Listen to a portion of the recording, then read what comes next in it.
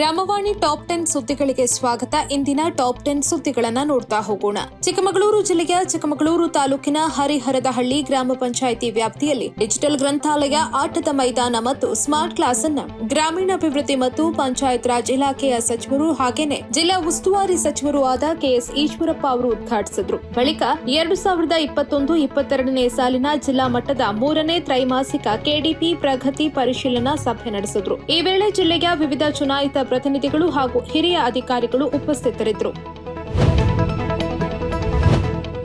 ಕೃಷಿ ಸಚಿವರಾದ ಬಿಸಿ ಪಾಟೀಲ್ ಅವರು ಹಾವೇರಿ ಜಿಲ್ಲೆಯ ಹಿರೇಕೆರೂರು ತಾಲೂಕಿನ ಬಸರಿಹಳ್ಳಿ ಹಾಗೂ ಸೋಮನಹಳ್ಳಿ ಗ್ರಾಮದಲ್ಲಿ ಜಲಜೀವನ್ ಮಿಷನ್ ಯೋಜನೆಯಡಿ ಕೈಗೊಳ್ಳಲಾಗಿರುವ ಮನೆ ಮನೆಗೆ ಗಂಗೆ ಯೋಜನೆಯ ಕಾರ್ಯಾತ್ಮಕ ಗೃಹನಳ ಸಂಪರ್ಕ ವ್ಯವಸ್ಥೆಯನ್ನ ಉದ್ಘಾಟಿಸಿದ್ರು. ಈ ವೇಳೆ ಸ್ಥಳೀಯ ಜನಪ್ರತಿನಿಧಿಗಳು ಹಾಗೂ ಹಿರಿಯ ಅಧಿಕಾರಿಗಳು ಉಪಸ್ಥಿತರಿದ್ದರು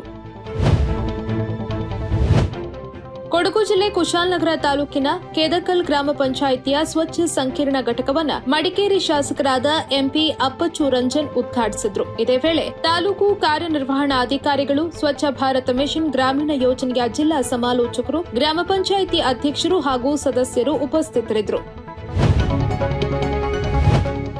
ಶಿಲ್ಪಾ ಶರ್ಮಾ ಆಯುಕ್ತರು, ಪಂಚಾಯತ್ ರಾಜ್ ಆಯುಕ್ತಾಲಯ ಇವರು ಕಲಬುರಗಿ ತಾಲೂಕಿನ ಭೀಮಳ್ಳಿ ಗ್ರಾಮ ಪಂಚಾಯತ್ಗೆ ಭೇಟಿ ನೀಡಿ ಇಲಾಖೆಯ ವಿವಿಧ ಅಭಿವೃದ್ಧಿ ಕಾರ್ಯಕ್ರಮಗಳ ಪ್ರಗತಿ ಪರಿಶೀಲನಾ ಸಭೆ ನಡೆಸಿದ್ರು. ಈ ವೇಳೆ ಜಿಲ್ಲಾ ಪಂಚಾಯತ್ ಸಿಒ ಸೇರಿದಂತೆ ಇತರೆ ಹಿರಿಯ ಅಧಿಕಾರಿಗಳು ಉಪಸ್ಥಿತರಿದ್ದರು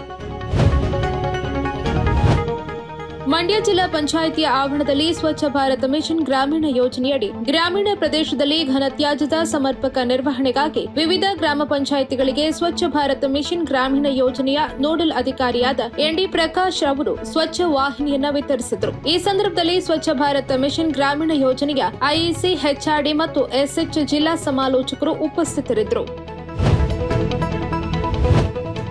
ಶಿವಮೊಗ್ಗ ತಾಲೂಕಿನ ಹೊಳಲೂರು ಗ್ರಾಮ ಪಂಚಾಯಿತಿ ವ್ಯಾಪ್ತಿಯಲ್ಲಿ ಸ್ವಚ್ಛತಾ ಕಾರ್ಯ ಕೈಗೊಳ್ಳಲಾಯಿತು. ಈ ವೇಳೆ ಗ್ರಾಮದ ಸಮುದಾಯ ಶೌಚಾಲಯಕ್ಕೆ ಹೊಸ ರೂಪ ನೀಡಲಾಯಿತು. ಜಿಲ್ಲಾ ಪಂಚಾಯತ್ ಉಪ ಕಾರ್ಯದರ್ಶಿ ಆಡಳಿತ, ತಾಲೂಕು ಪಂಚಾಯಿತಿ ಕಾರ್ಯನಿರ್ವಾಹಕ ಅಧಿಕಾರಿಗಳು, ಸ್ವಚ್ಛ ಭಾರತ್ ಮಿಷನ್ ಗ್ರಾಮೀಣ ಯೋಜನೆಯ ಜಿಲ್ಲಾ ಸಮಾಲೋಚಕರು ಸೇರಿದಂತೆ ಇತರೆ ಅಧಿಕಾರಿಗಳು ಉಪಸ್ಥಿತರಿದ್ದರು.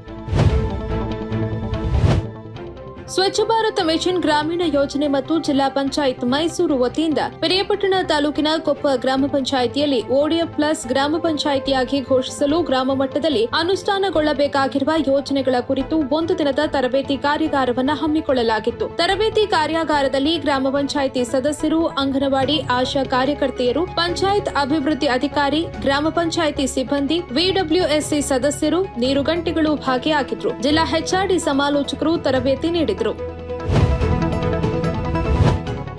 ಗದಗ ಜಿಲ್ಲೆ ಗದಗ ತಾಲೂಕು ನೀರಲಿಗಿ ಗ್ರಾಮ ಪಂಚಾಯಿತಿ ಹಾಗೂ ಕೂಟು ಮುಚಕಿ ಗ್ರಾಮ ಪಂಚಾಯಿತಿಯಲ್ಲಿ ಜಲಜೀವನ್ ಮಿಷನ್ ಯೋಜನೆಯ ಐಇಸಿ ಮತ್ತು ಹೆಚ್ಆರ್ಡಿ ಕಾರ್ಯಕ್ರಮಗಳ ಅಡಿಯಲ್ಲಿ ಬೀದಿ ನಾಟಕ ಪ್ರದರ್ಶಿಸಲಾಯಿತು. ಕಾರ್ಯಕ್ರಮದಲ್ಲಿ ಗ್ರಾಮ ಪಂಚಾಯಿತಿ ಅಧ್ಯಕ್ಷರು, ಸದಸ್ಯರು, ಸಾರ್ವಜನಿಕರು, ಮಹಿಳೆಯರು, ಮಕ್ಕಳು ಭಾಗವಹಿಸಿದ್ರು. ಧಾರವಾಡ ಜಿಲ್ಲೆಯ ಬೆಳಹಾರ ಗ್ರಾಮ ಪಂಚಾಯಿತಿಯ ಚುನಾಯಿತ ಪ್ರತಿನಿಧಿಗಳು ಹಾಗೂ ಮಹಿಳಾ ಸಂಘದ ಸದಸ್ಯರಿಗೆ ಸ್ವಚ್ಛ ಭಾರತ ಮಿಷನ್ ಗ್ರಾಮೀಣ ಯೋಜನೆಯ ಜಿಲ್ಲಾ ಸಮಾಲೋಚಕರು ಓಡಿಎ ಪ್ಲಸ್ ಬಗ್ಗೆ ತರಬೇತಿ ನೀಡಿದ್ರು. ಇದೇ ವೇಳೆ ಎಸ್ಪಿಎಂ ಟೂ ಪಾಯಿಂಟ್ ಜೀರೋ ಆಪ್ನಲ್ಲಿ ಸಮುದಾಯ ಆಸ್ತಿಗಳನ್ನು ಜಿಯೋ ಟ್ಯಾಗಿಂಗ್ ಮಾಡಿಸಲಾಯಿತು.